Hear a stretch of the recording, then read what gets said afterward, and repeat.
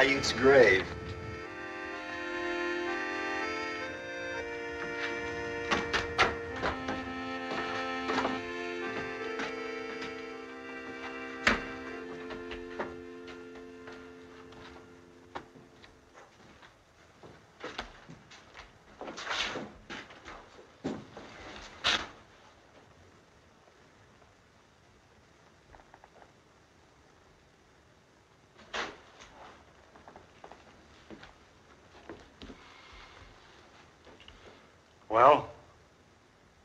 That guy's awful slow getting there. I feel sorry for him. Always in reach and never able to do anything about it. I got a feeling she could do better. You're boasting. What do you have, whiskey? What do you got? Whiskey. Did You ever see such a guy? All winter I've been thinking, and all he's got's whiskey. That's rotten, ain't it? Rotten. Two glasses in a bottle.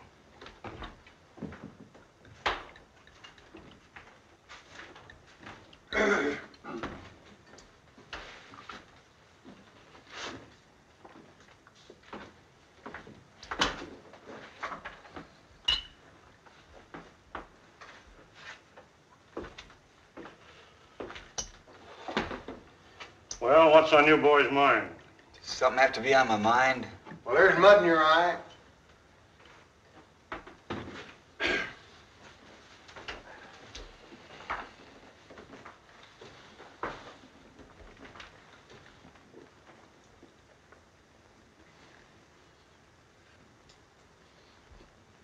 Friendly cuss, ain't he?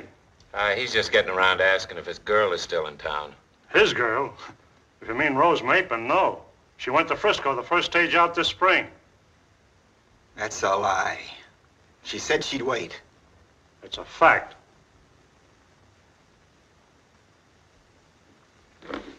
What a town. It's my guess the married women run around. Oh, no tar and feathers, no rails. They just righteously made her feel uncomfortable. Not that she ever did anything, but they just couldn't get over being afraid she might. Say, what is does that have to do in this town anyway? Unless you want to get in line and woo Drew's daughter. We don't. The only other unmarried woman I know is 82, blind, and a Paiute. That leaves you five choices. Eat, sleep, drink, play poker, or fight. Or you can shoot some pool. I got a new table in the back room. That's just great.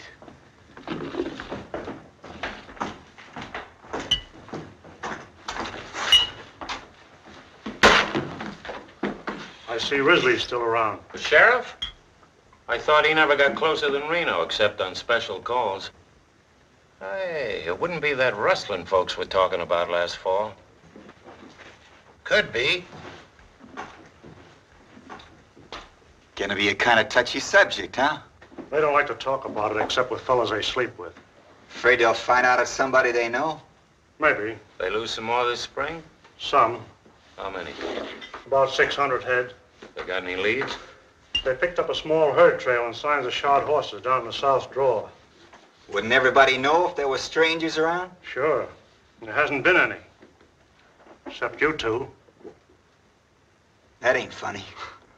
Now who's touchy? You're talking about my business. Stick to my pleasures. No offense, Carter. I just want to let you know where you two stand. Listen, Take it easy, Gil. He's had five whiskeys and he's sore about Rose Mapen. keep your mouth shut about Rose, see? Okay, Gil. I was just joking. You can take a joke, can't you? Sure, I can take a joke. Some jokes. Lost any over your way? No more in the winter than the coyotes would account for. You haven't got any ideas, have you, Farnley? Except not to have ideas. Make that clear. There are a lot of things around here ain't clear.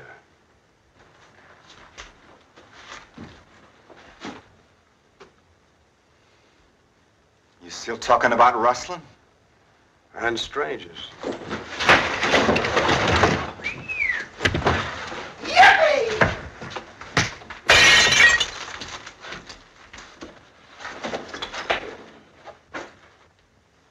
Looks happy, don't he? He just needed exercise. Whenever he gets low in spirits or confused in his mind, He doesn't feel right until he's had a fight. It doesn't matter whether he wins or not. He feels fine again afterwards.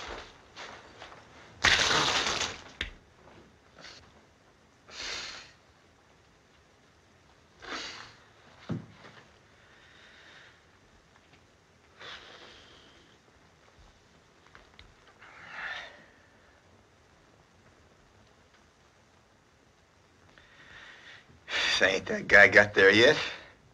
Oh,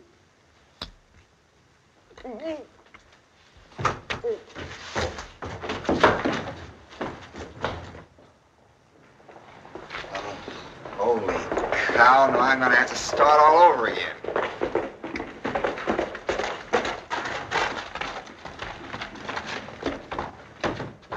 Somebody's sure in a hurry.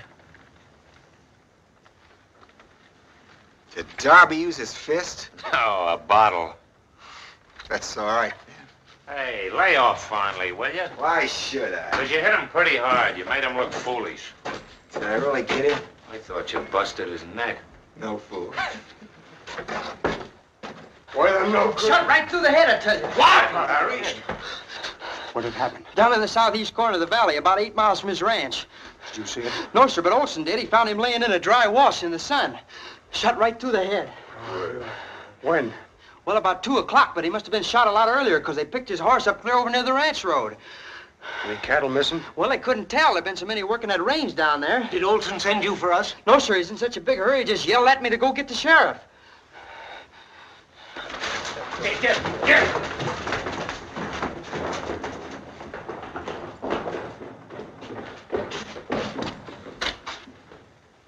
Rustlers? Looks that way. Who was it they got? Kincaid. Kincaid. Farnley's buddy? Yeah. They've been working together ever since they were kids. All the way from the panhandle to Jackson's Hole. Sure, I knew him. Oh, short, dark Irishman. Didn't say very much. Liked to sing a lot. These fellows will go a long way to get the guy that killed Larry Kincaid. Lynching? I judge.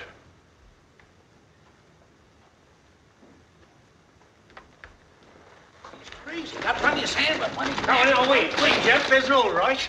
Even if they have got a five-hour start, it's a good 500 miles to the first border. Besides, there may be a bunch of them. It won't help Kincaid now to get yourself killed. That kid Green ain't got no idea which way they went. Better wait till we know what we're doing. We're all with you about Kincaid. You know that, son. Only we ought to take our time and form this posse right. So if we go, we're sure to get what we go after. Okay. Thank you, posse. Somebody better get the sheriff first thing, and Judge Tyler. Oh, what do we want with old Tyler and his trials? Yeah, one good fast job without no legal papers, and that's all there is to it. Remember, this ain't just rustling. It's murder. Wait a minute, men. Don't let's go off half-cocked and do something we'll be sorry for. We want to act in a reasoned and legitimate manner, not like a lawless mob. Trouble with you, Davies, you've been storekeeping too long. You don't see no profit in this. Now, if any of you fellas had offered to buy the rope from him, If we go, you're going with us, fat gut. brother, I wouldn't miss it. Only thing to bring me out any faster would be your necktie party. Who knows? Maybe this is yours. I'll remember that and see you handle a rope. Down in Texas, where I come from, we just go out and get a man and string him up. That's right. I say stretch him. Tain't just a rustler we're after. It's a murderer. Larry Kincaid, one of the finest, most God-fearing men that ever lived, is lying out there right now with a bullet hole in his head. If you let this go by, there won't be nothing safe around here. Our cattle, our homes, not even our women folks. I'm with you, Farnley. I'm going to get me a gun and some rope, and I'll be right back. And if nobody else will do it, me and you'll do it ourselves. Count me in, too. Come on, boys! Get your guns! Don't listen! Oh, listen to me, men! Hey, don't lose your heads like this! You mustn't do this thing! You must not! Uh, shut up, Grandma. Nobody expects you to go. Don't take it so hard, Mr. Davies. You did all you could. Will you do me a favor, Carter? That depends. I'm sending Joyce here for the sheriff and Judge Tyler. I want you to go along and help explain. Well, you know how Hart and I stand here. We came in at a bad time. I've got to stay here and see if I can't stop them till they realize what they're doing. If I can make this thing regular, that's all I ask. Come on, let's go. Oh, wait a minute. Do you know Mapes? The one they call Butch? Yes. The sheriff's made him deputy for times he's out of town. And we don't want Mapes. Well, you said I was to be the executioner, so I come all fixed. Think I don't know my business, huh?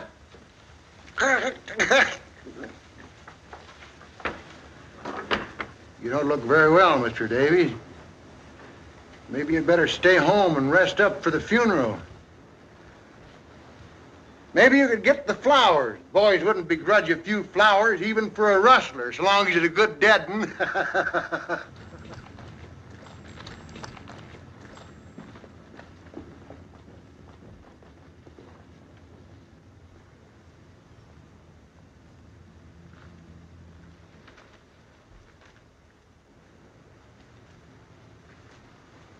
gun. I'm not going, Father. I don't wish any argument. Do as I say. Perhaps this will do what I've obviously failed to do. Make a man of you.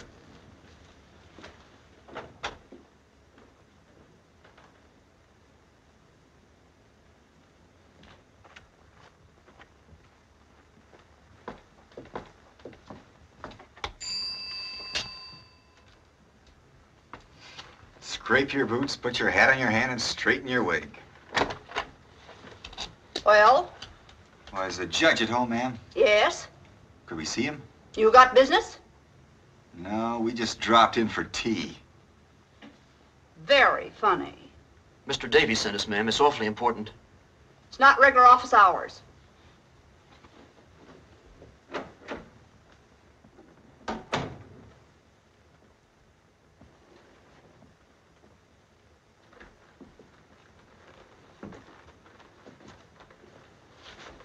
Judge's better half? His housekeeper. His wife's dead. Well, you can see why there are times when the judge don't seem to be able to make up his own mind. Come in. Come in. He says, come in. Well, well, Carter, how are things out in your neck of the woods? All right, I guess, Judge. You don't appear to have been pining away exactly since last I saw you.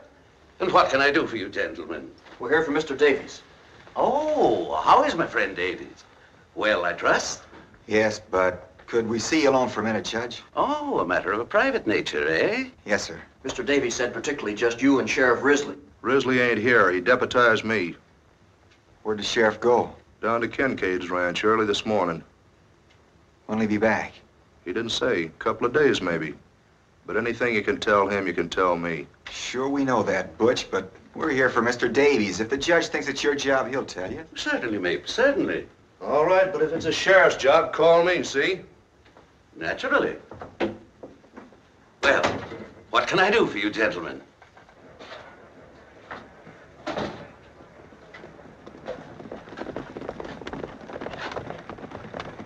Well, it ain't so much that Mr. Davies don't want him to go, it's just he wants to make sure a posse's sworn in to bring him in for a fair trial. That's why I wanted you and the sheriff to hurry as quick as you can. Confounded man, the sheriff's not here. Today of all days. You can talk to him, Judge. They'll listen to you. No, no, no, that's not my job. I haven't any police authority. Where are you going, Mapes? There's a posse forming, Judge, in case you hadn't heard. That sheriff's work in it. Well, that's no posse. That's a lawless lynching mob. It'll be a posse when I get there. I'm gonna deputize them all proper. But you can't do that. Risley's the only one empowered to deputize.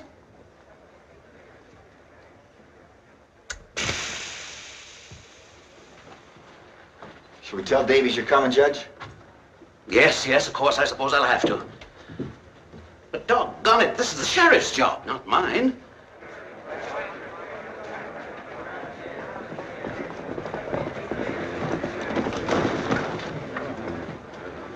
Coming around, we'll go and get him ourselves. That's just as high as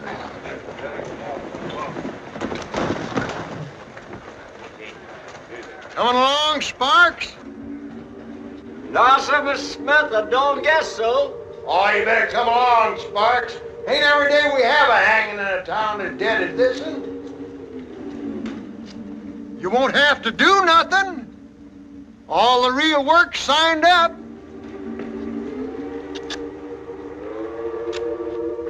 I just thought we ought to have a reverend along because there's going to be some praying done. Maybe you're right, Mr. Smith. Maybe somebody ought to go along that feels the way I do.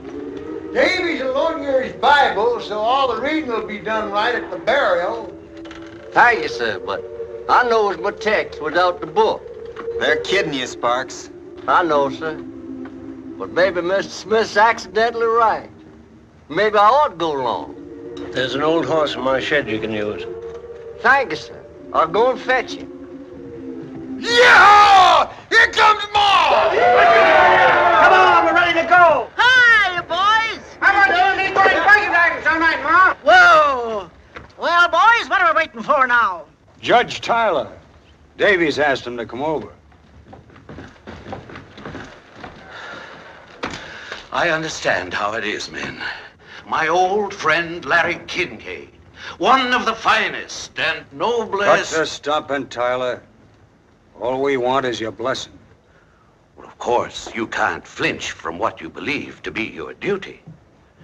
But certainly you don't want to act hastily in the same spirit of lawlessness that begot this foul crime. Ah, Judge, before you get ready to act, them rustlers will be clear down over the Rio. One more word out of you, Smith, and I'll have you up for impeding the course of justice. Judge, you can't impede what don't move anyway. And you, Jenny Greer, a woman, to lend yourself to this. now, now listen. Listen, men. I've just found out that Sheriff Risley's already down at Kincaid. That right, Judge? Yes. He's been there all morning. Yes. So you see, probably everything's being attended to right now legally. All you'll get out of it is a long, hard ride. It'll be dark before long and mighty cold. My advice is to come inside, have a drink, let's wait till we hear from the sheriff. Drinks on the house, but only one round. I'm not filling any bucket bellies. I'll make it two. Any of you fellas want to stay in town, I can take six. If you don't mind sleeping double. Now, it's not as if you were giving up, boys. It's just good sense. Farnley, come back! I'm not asking you, I'm telling you.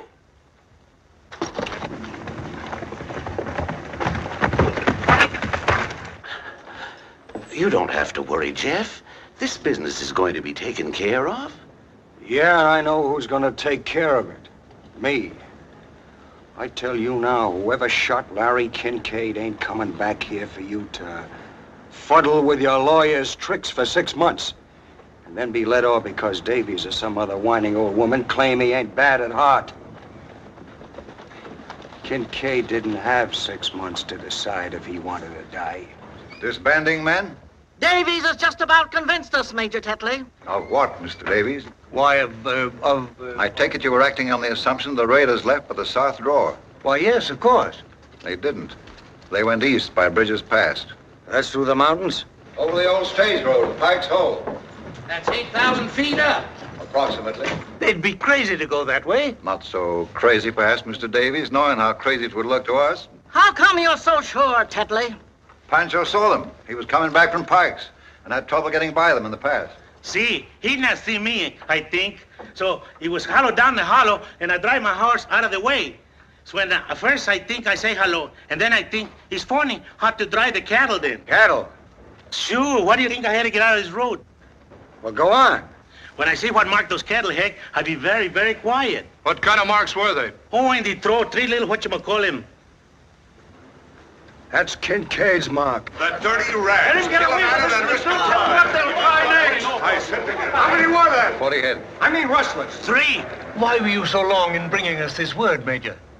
I knew my son would want to go along. He was out on the range. Major Tetley, you mustn't let this be a lynching. This case of what I choose, Davies. Promise me you'll bring him in for a fair trial. I promise I'll abide by the majority will. Tetley, you know what's legal in this case as well as I do. All we ask is a posse to act under a properly constituted officer of the law. That's where I come in. Risley made me a deputy. In that case, Mr. Mapes, suppose you deputize the rest of us. Well, that's not legal. No deputy has the right to deputize. How about it, boys? Suits me, Butch. Go ahead and pray. Mapes, you're violating the law. Raise your right hands.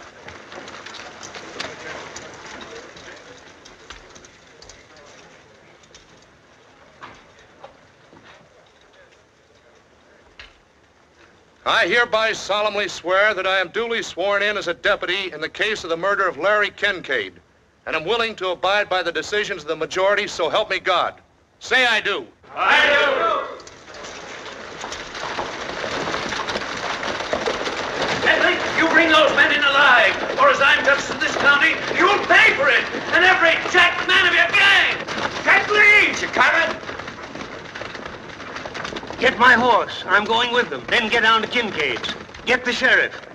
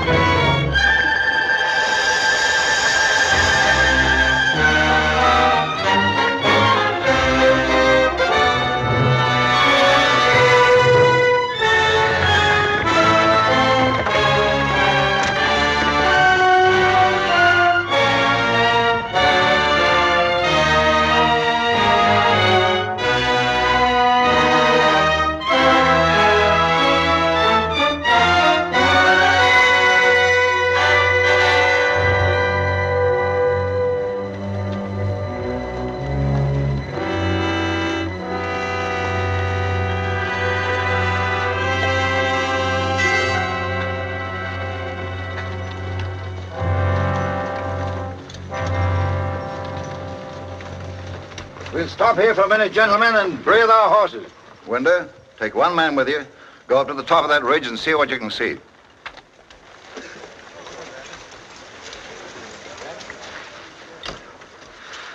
Doing this in the middle of the night's crazy. I Thought you liked excitement. I got nothing particular against hanging a murdering rustler. It's just I don't like doing it in the dark. There's always some crazy fool who loses his head and start hanging everybody in sight. Us? Funnier things have happened. Well, we didn't have to come. What kind of funny if we hadn't, wouldn't it? Besides, I like to pick my own bosses. Whether we picked them or not, we sure got them. That's what I don't like. That's Smith and Bartlett shooting off their mouths. Farnley. And that renegade Tetley. Strutting around his uniform pretending he's so much. He never even saw the South till after the war. And only long enough to marry that kid's mother and get run out of the place by her folks. I figured there was something fishy about him, dressing up like that. Sure. What are you supposed he'd be living in this neck of the woods if you didn't have something to hide?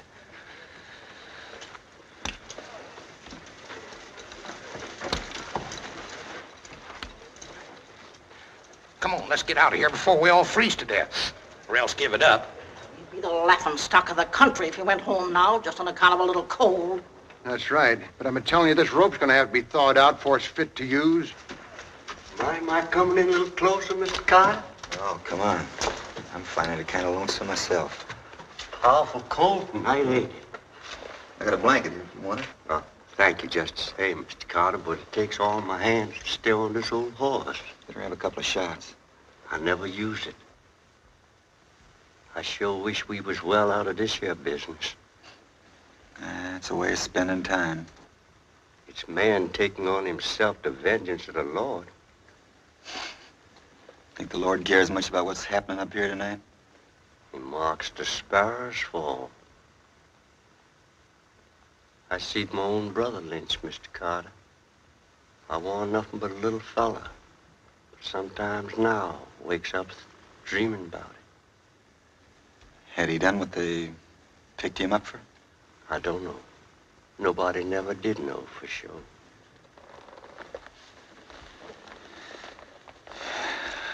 Well, a couple of shots more whiskey can't do my soul any harm.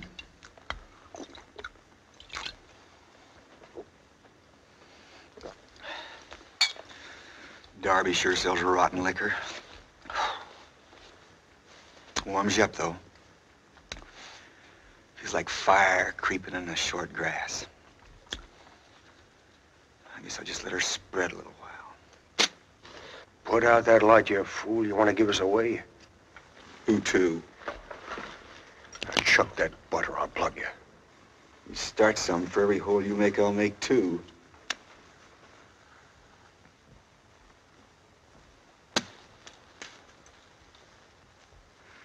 Looks like you're going to have a lot of shooting to do, Mr. Farnley.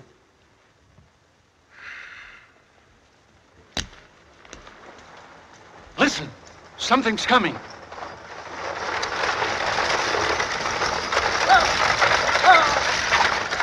Oh.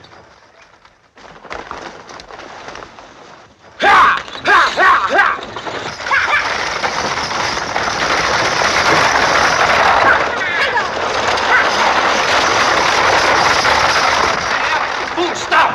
Stop it!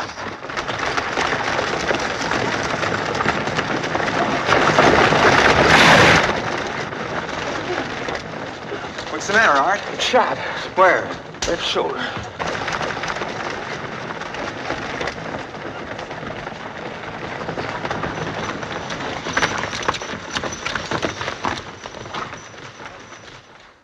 You fool, you must be drunk. Nobody but a drunken idiot would drive down a grade in the dark like that. I thought it was a stick-up. Oh, if those horses weren't a sight smarter than you, that coach would be at the bottom of the canyon right now.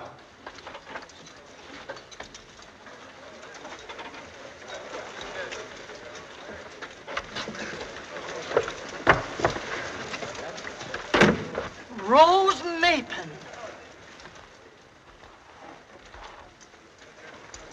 Hello, everybody. This is my husband, Mr. Swanson of San Francisco. And uh, my sister-in-law, Miss Swanson. Did you just get married, Rose? Just today. no wonder you were in such a hurry.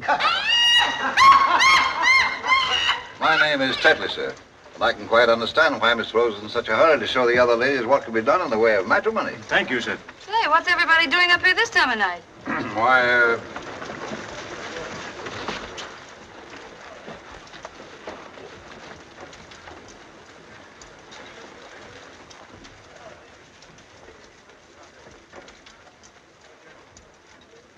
Art shot. What? Bring him over here. Here, let's take a look. Give him a hand there, Meg. Put him down right. Easy with this now, easy. There, forward, forward. I give him a hand. Careful now,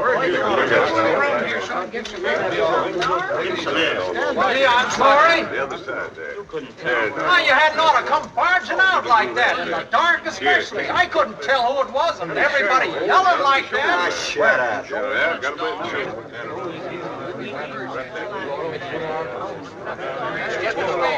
Here, I'm good at this sort of thing. Now you got it. Look, the women have to watch this. Oh, I think.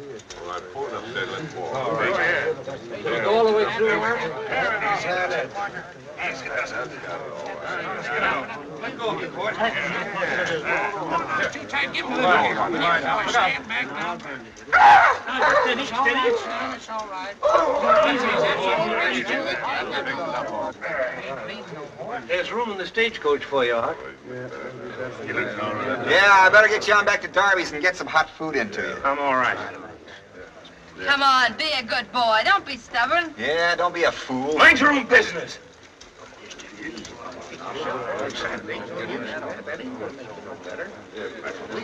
Bring his horse over, will you?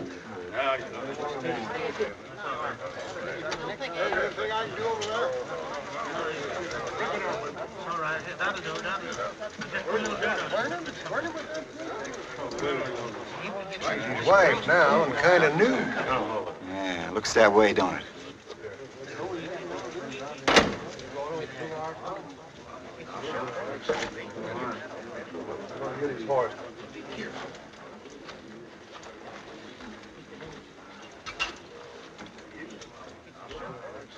I take it you've had the privilege of knowing Miss Mapen before she became my wife? That's right. That possibly you imagined at the time there was some understanding between you? Yeah, sure. My wife is a very impulsive woman. That's what I'm saying. Needless to say, I'm pleased to regard any friend of my wife as a friend of my own. However, I don't need to remind you that the pleasure of such an acquaintance depends upon the recognition by all parties of the fact that Miss Maitland is now my wife. She must be given a little time to become accustomed to her new responsibilities. As yet, I must confess that I'm jealous of her least attention. You'll forgive me, I know. A bridegroom is prone to be overly susceptible for a time. Later, when we've had time to get accustomed to our new relations, I shall be delighted to welcome you and others of my wife's friends to our home in San Francisco, if it is still her desire. Until then,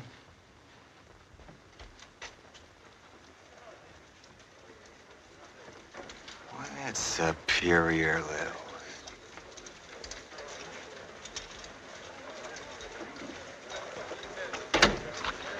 Looks like Rose has took unto herself a lot of trouble.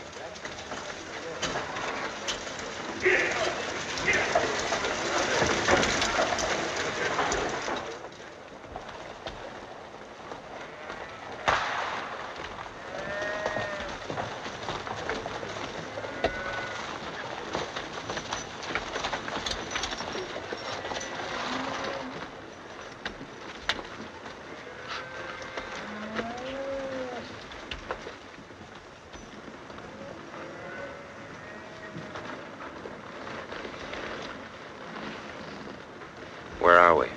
The Oxbow. There they are, gentlemen. I suggest we avoid any shooting or rough work till they've had a chance to tell it their way.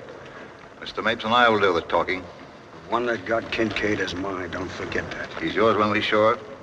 Ten men will go with Mrs. Gray and come up from behind. Bartlett, take six men and work through those woods back of the cabin.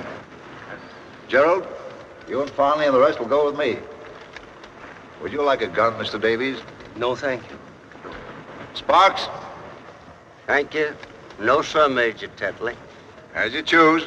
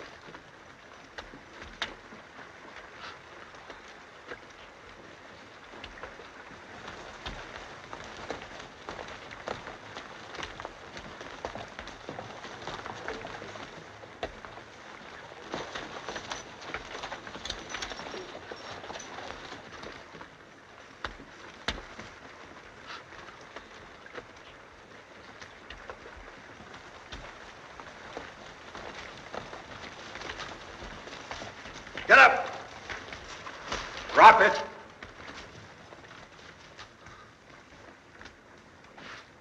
Now put up your hands. No sabe. It's all right, brother. You will.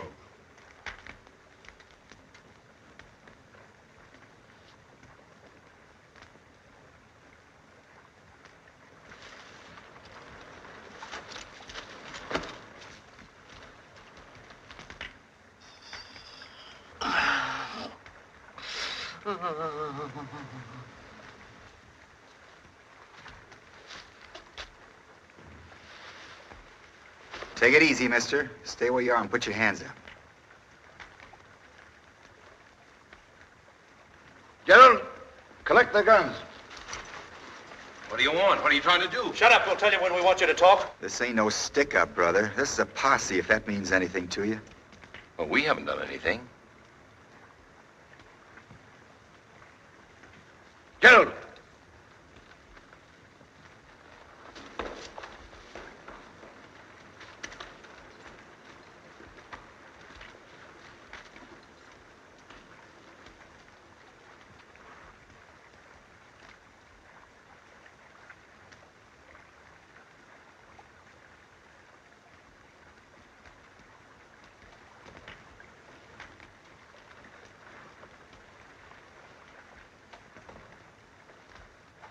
Get him up.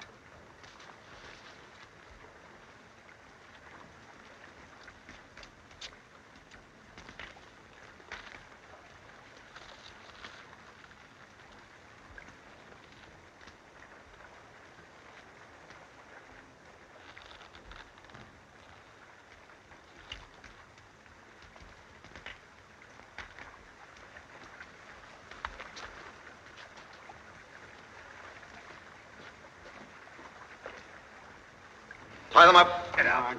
Get in. All right, get in there.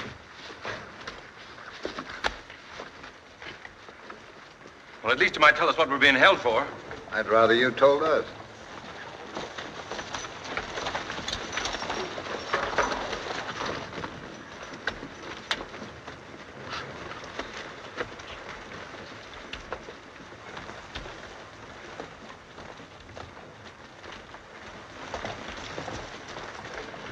Must be pretty important, or else awfully dangerous. It ain't that you're so dangerous, it's just that most of the men ain't never seen a real triple hanging. A hanging? Well, what have we done? Aren't you even going to tell us what we're accused of?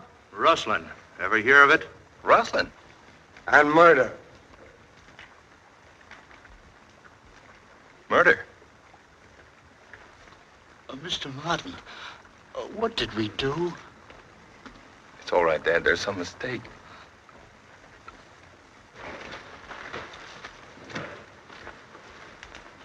Remember me? He's talking to you, mister. No, sir. He don't speak English. I got a different notion. I'll make him talk. That'll do, Farnley. Listen, your wife had enough of your playing God Almighty. Who picked you for this job, anyhow? We got him, I say. Let's swing him before we all freeze to death. If you're cold, here's a fire. Warm yourself. And I advise you to control your tongue, too. And we'll get along better. Who's boss of this outfit? I am. And your name? Donald Martin.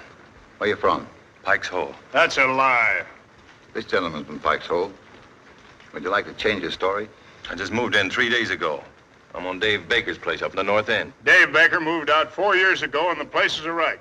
The barns are all falling down, the sagebrush is sticking up through the porch. Well, I bought the place from him for $4,000 in Los Angeles last month. then, mister, you was robbed. That may be. Surely it's not so far to Pike's Hole that you can't go over there and find out. My wife's there right now. And my two kids. That's really too bad. Just too bad. Well, even in this godforsaken country, I've got a right to a trial. You're getting a trial that 28 are the only kind of judges murderers and rustlers get in what you call this godforsaken country. So far, the jury don't like your story. Well, I'm not going to say another word without a proper hearing. Suit yourself, son. But this is all the hearing you're likely to get, short of the last judgment. Have you any cattle up here with you? Hey, Mr. Martin. Ah. I'm not going to ask you again.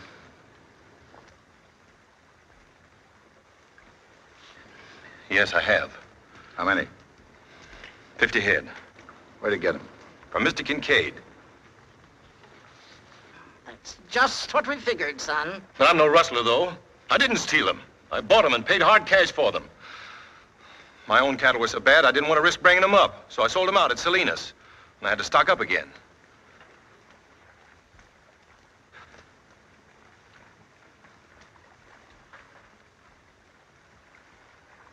Well, you can wait, can't you? Till you can see Kincaid? Or ask about me over at Pike's Hole. That's a good one. He wants us to wait and ask Larry Kincaid. Gotta hand it to you, Martin. You're a cool one, all right. You know as well as we do, Kincaid can't tell us anything. He's dead. Dead? What do you think we're up here for? Well, how should I know? He was all right yesterday afternoon.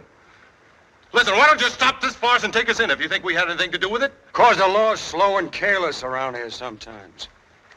We're here to see it speeded up. Who sent you up here?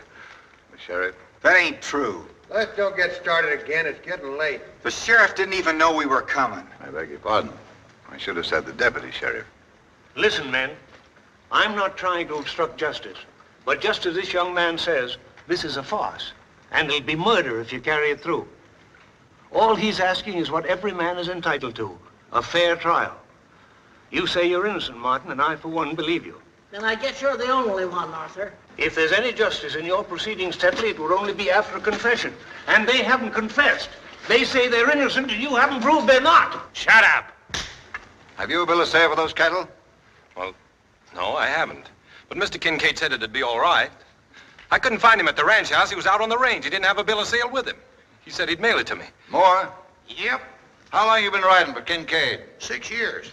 Ever known him sell any cattle without a bill of sale? No, can't say that I ever did. Of course, I can't remember every head he sold in six years. But it's customary for him to give a bill of sale. Yep. Ever known him sell any cattle after spring roundup? This year and the other year? I can answer that. I heard him say myself just a couple of days ago. He wouldn't sell a head to nobody this spring. Well, I know it looks pretty bad giving a dead man for a witness, but it's the truth. You don't believe me? would you in my place? Well, I'd find out. I'd do a lot of finding out before I'd risk hanging three men who might be innocent. If it were only rustling, maybe, but with murder? No.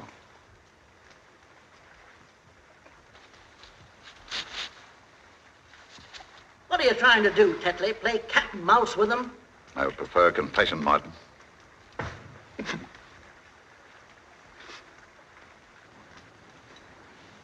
If you got any doubts, Tetley, I say let's call off this party. Take him back to judge like Davies wants. This is only slightly any of your business, my friend. Remember that? Hanging's any man's business that's around. If your stomach for justice is cooling, Carter, I advise you to leave now before you proceed any further. Otherwise, your interruptions are going to become very tiresome. I still don't like it. Hanging murders is one thing, but to keep guys you don't know for sure did it, stand around sweating while you shoot your mouth off, that's another. Take it easy. This ain't our picnic. If you keep on butting in, I got a hunch it might be. You call this old man Dad. Is he your father?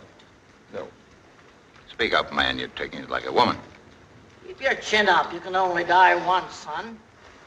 No, he works for me. I didn't do it. I ain't even got a gun. And who did? Uh, uh, the Mexican did it. Uh, he told me so. Uh, no. I saw him do it. Juan couldn't have done anything. I was with him all the time. Uh, yes, he did, Mr. Martin. He was asleep and he didn't mean to tell me. Uh, But I was awake and I heard him talking about it. The old man's feeble-minded. He doesn't know what he's talking about. He invents things. Well, if you've got to go through with this filthy comedy, you can at least let him alone, can't you? Shut up. Lay off, mates. First he won't talk. Now he talks too much. What's his name? Alva Hardwick. And the other? Juan Martinez. No, it ain't. Still don't remember me, eh? I'm talking to you, mister. I'm sorry. The devil you don't. Your name's Francisco Morez, and the vigilantes would like to get hold of you. He was a gambler. They want him for murder. How about that? I don't know. Stick together nice, don't they? Why do you keep asking me all these questions? You don't believe anything I tell you. There's truth in lies, too, if you can get enough of them. What do you know about the old man? I don't know.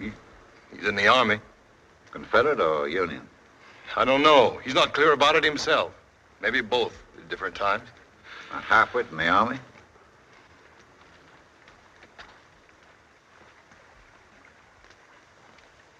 Attention! Oh, he's forgotten. Not that.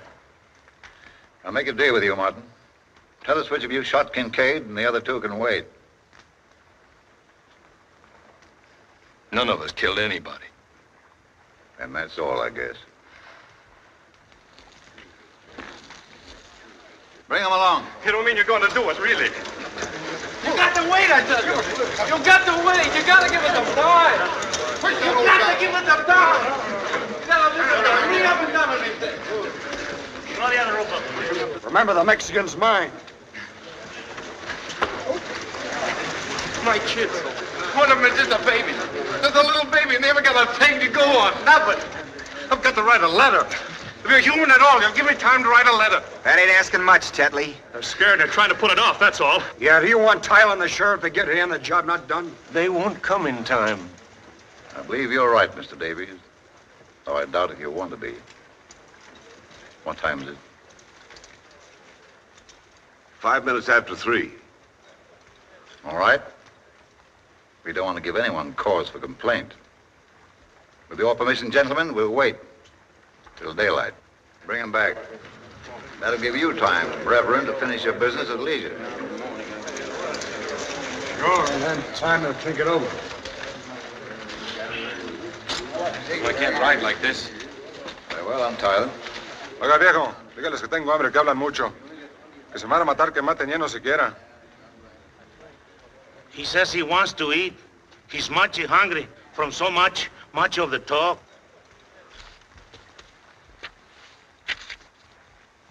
Thank you. Why, look, fresh beef. Oh, Ma, fix up a spread for everybody. Can't call it stealing because the time it's at, there won't be any owners. What are you Ha ha ha.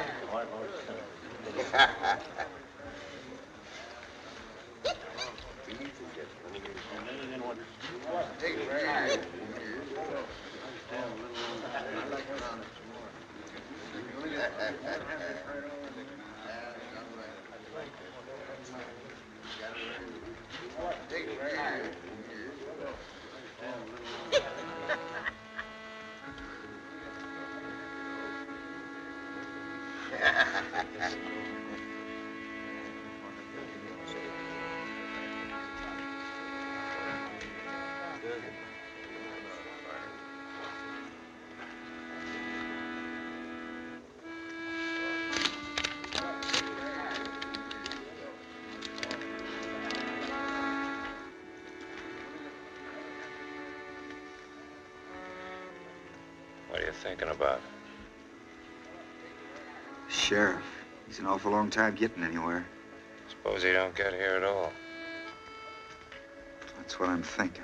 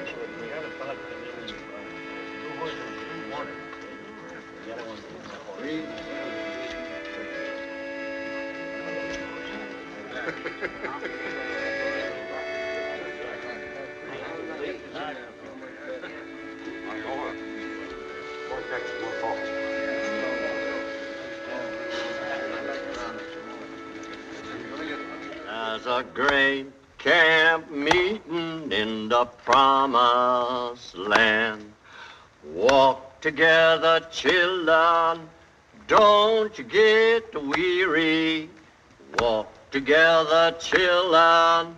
Don't you get weary. Walk together, children.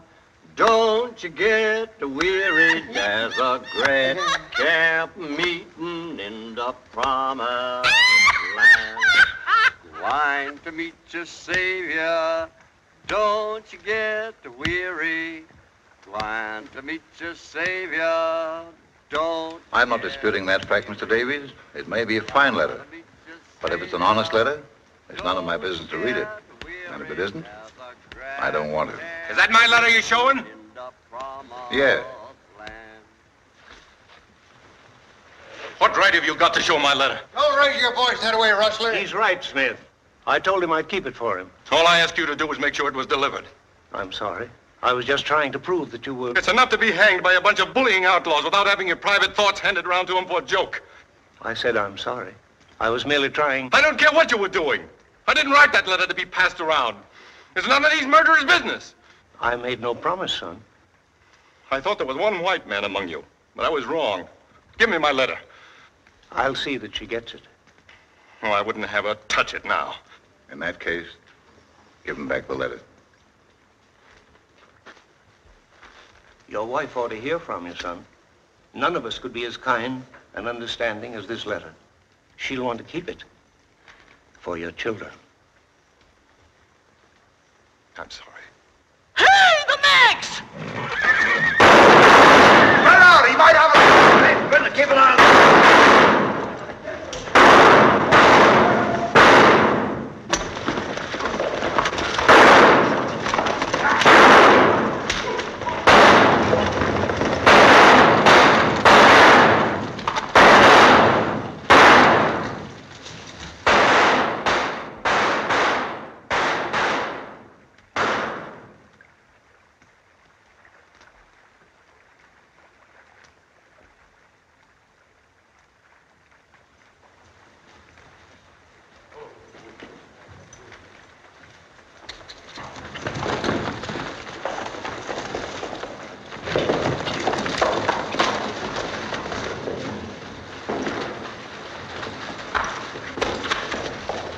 Where's he hit?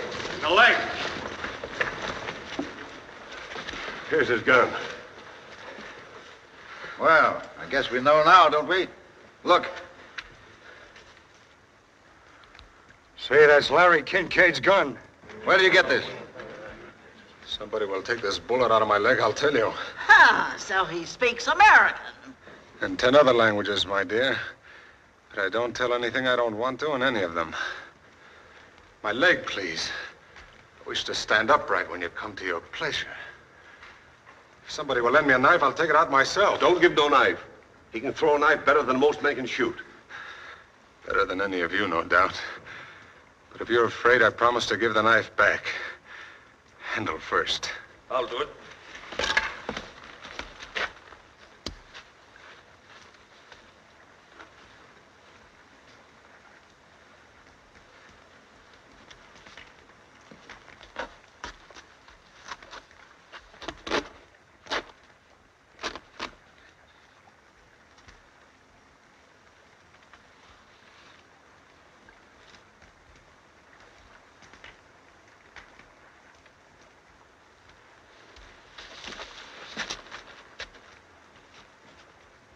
He's polite, but has no stomach for blood, eh?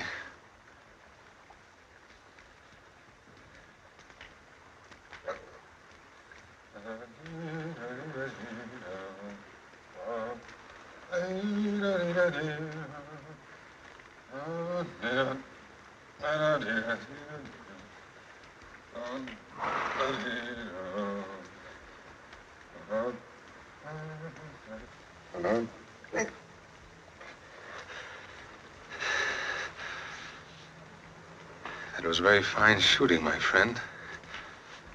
You should try again with that one.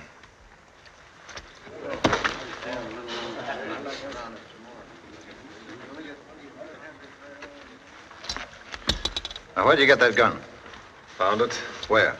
Lying on the road. You're a liar. I thought we might find somebody to send it back by. You're a liar. And you're a blind fool. I asked you where you got it.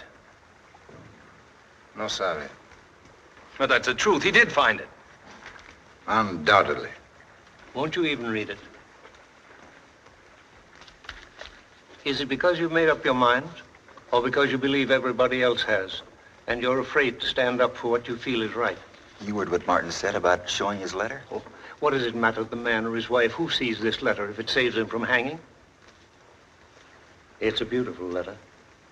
Read it, and you'll know he's not the kind of man that could steal or kill. Maybe. But all that kind of argument in the world can't stand up against branded cattle, no bill of sale, and a dead man's gun. Gentlemen, I suggest we act as a unit, so there can be no question of mistaken reprisals. Mr. Davies, are you willing to abide by a majority decision? Well, how about the rest of you people? Sure. Already ruled with me. Everybody who's with Mr. Davies of putting this thing off and turning it over to the courts, step over there.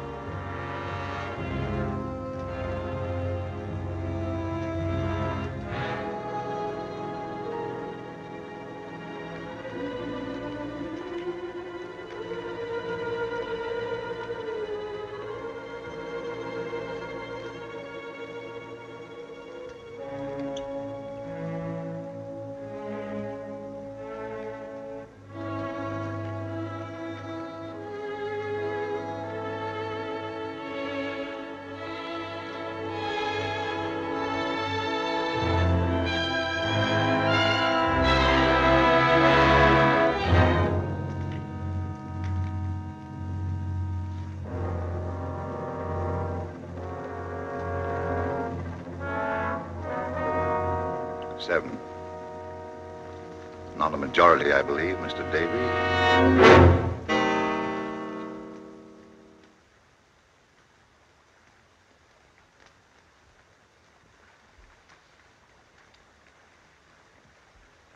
Any other message you'd like to leave, Martin?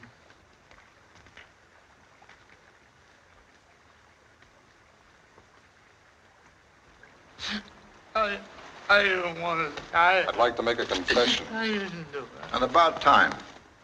A priest. There's no priest here. This man can hear me and take it to a priest. All right. Get along with it.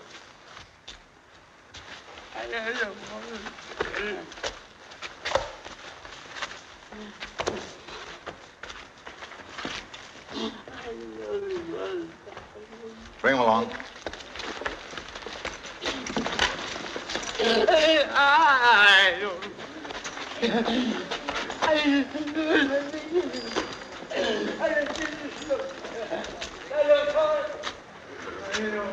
That must have been an awfully busy life.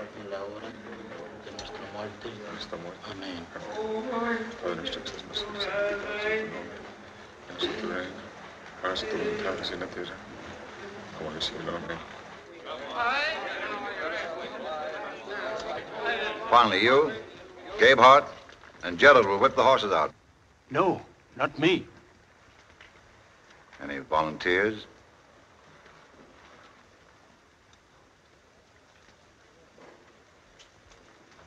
I'll do it. No one else will. I won't do it. You'll do it. I I can't. We'll see to it that you can.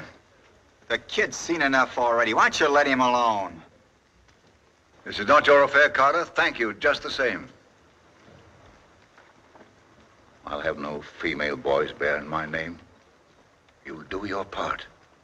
And say nothing more.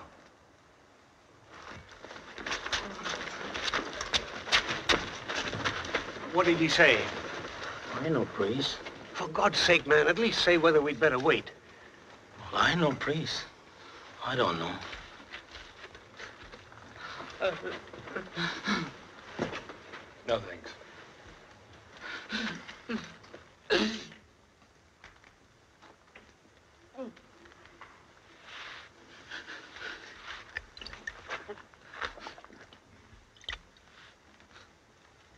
I'll give you two minutes to pray.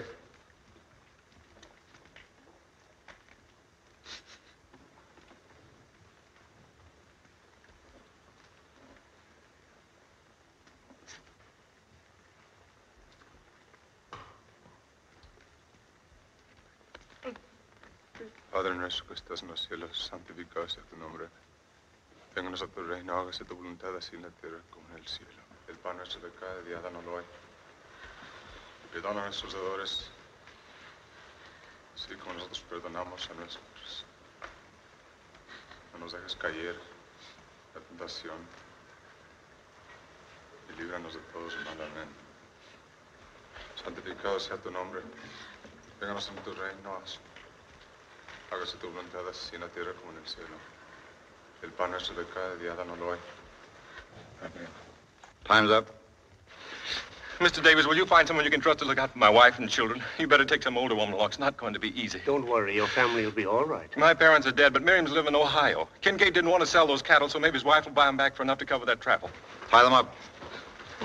I suppose it's no good telling you again that we're innocent. No good. It's not for myself I'm asking. Other men with families have had to die for this sort of thing. It's too bad, but it's justice. Justice? What do you care about justice? You don't even care whether you've got the right men or not. All you know is you've lost something and somebody's got to be punished. I tell you, there's nobody to look out for them. They're in a strange place. Can't you understand that, you butcher? This is a fine company for a man to die with. Shut up! You shut up! You shut up! Careful,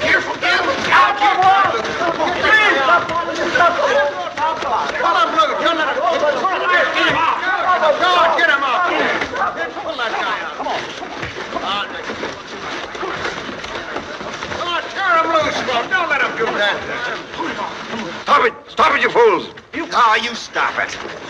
Keep him there. All right. Put them up.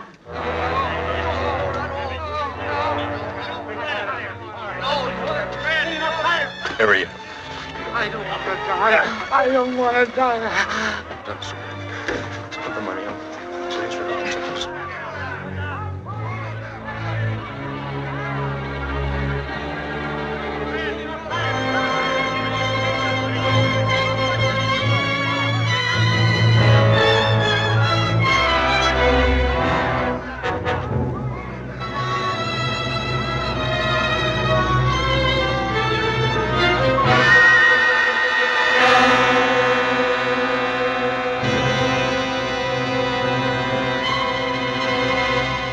ready, Mr. Mapes.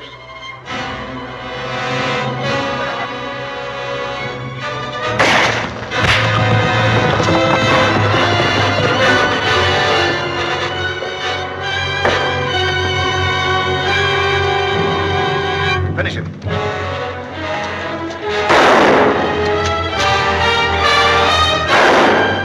You got to go to the lonesome valley. You got to go there by yourself. Nobody else can go for you. You got to go there by yourself. Oh, you got to stand before your maker. You got to stand there by yourself. Nobody else can stand for you. You got to stand there by yourself. Oh, you got to ask the Lord forgiveness. You got to ask him for yourself. Nobody else can ask him for you. You got to ask him for yourself. Oh, you got to go to the lonesome valley. You got to go there by yourself. Nobody else can go for you. You got to go there by yourself. Hey there! What's all that shooting about? We got him, Sheriff.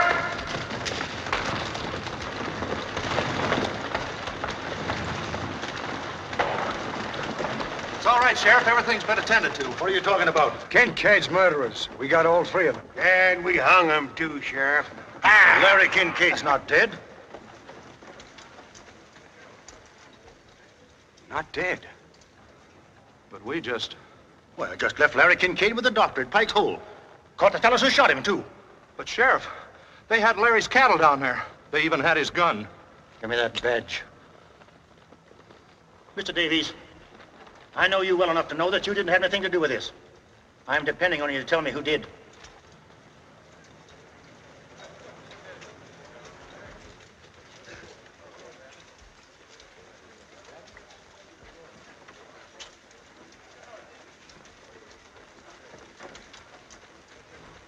All but seven. God better have mercy on you. You won't get any from me. All right, let's go.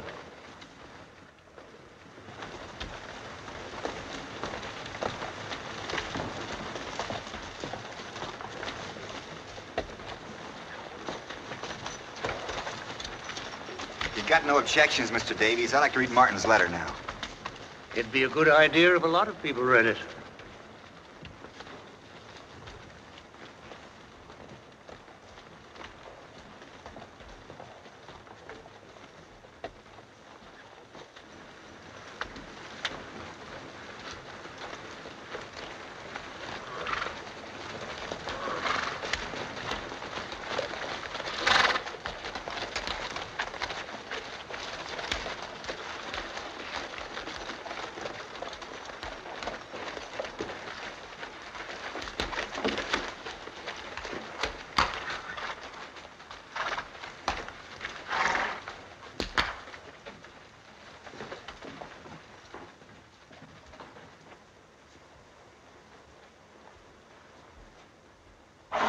You ask me, that Tetley's the one we ought to lynch.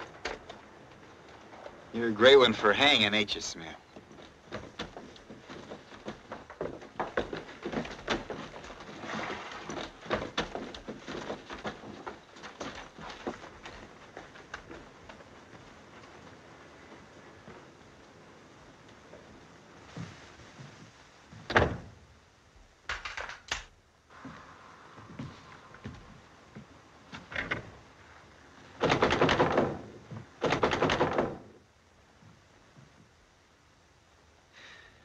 You loved it. That's why you kept them waiting so long. I saw your face. It was the face of a depraved, murderous beast. There are only two things that have ever meant anything to you. Power and cruelty. You can't feel pity. You can't even feel guilt. In your heart, you knew those men were innocent, yet you were cold crazy to see them hanged. To make me watch it. I could have stopped you with a gun just as any other animal can be stopped from killing, but I couldn't do it because I'm a coward. Aren't you glad you made me go, Father? Weren't you proud of me? How does it feel to have begun a weakling, Major Tetley? Does it make you afraid that there may be some weakness in you, too, that other men might discover and whisper about? Open the door, Major. I want to see your face. I want to know how you feel now.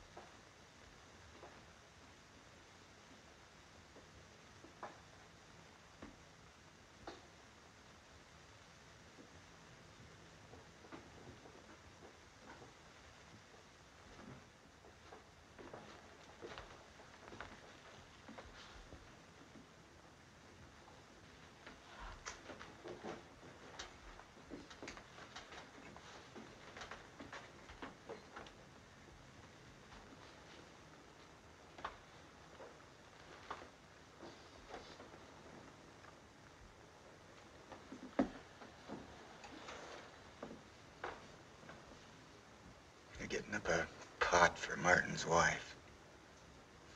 Even Mapes chipped in. I didn't know he was showing his face. He ain't. He sent it by Sparks. It reminds me I put in 25 bucks apiece for us.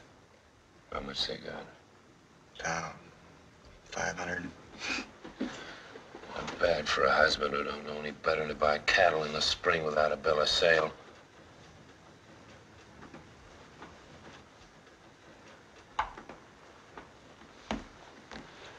Maybe you ought to read this letter, too. You know I can't read.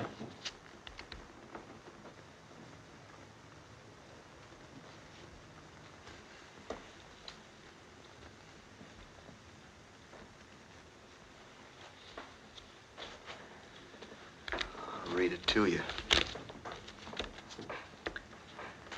My dear wife, Mr. Davies will tell you what's happening here tonight. A good man and has done everything he can for me. I suppose there's some other good men here, too, only they don't seem to realize what they're doing. They're the ones I feel sorry for. Because it'll be over for me in a little while, but they'll have to go on remembering for the rest of their lives. Man just naturally can't take the law into his own hands and hang people without hurting everybody in the world. Because then he's just not breaking one law, but all laws. Law's a lot more than words you put in a book, or judges or lawyers or sheriffs you hire to carry it out. It's everything people ever have found out about justice and what's right and wrong. It's the very conscience of humanity. There can't be any such thing as civilization unless people have a conscience. Because if people touch God anywhere, where is it except through their conscience? And what is anybody's conscience except a little piece of the conscience of all men that ever lived? I guess that's all I've got to say except kiss the babies for me and God bless you. Your husband, Donald.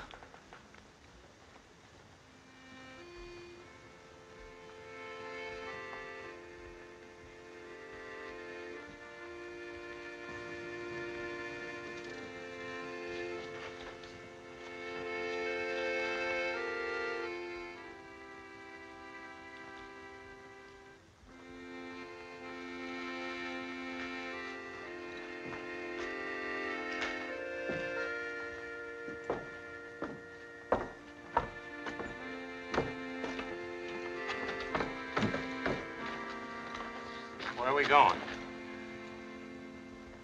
He said he wanted his wife to get this letter, didn't he? Said there was nobody to look after the kids, didn't he?